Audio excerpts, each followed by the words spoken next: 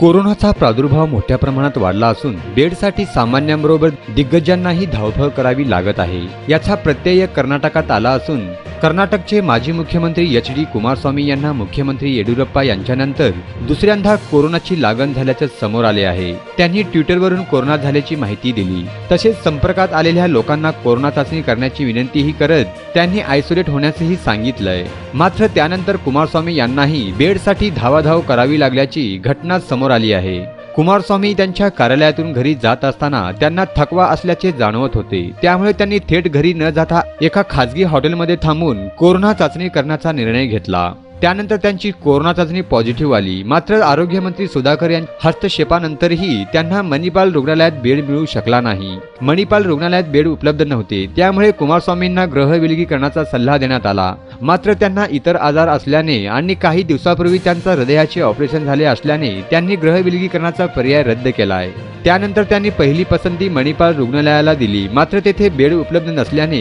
त्यांनी भन्नघट रोडवरील खासगी रुग्णालयात दाखल होण्याचा निर्णय घेतला.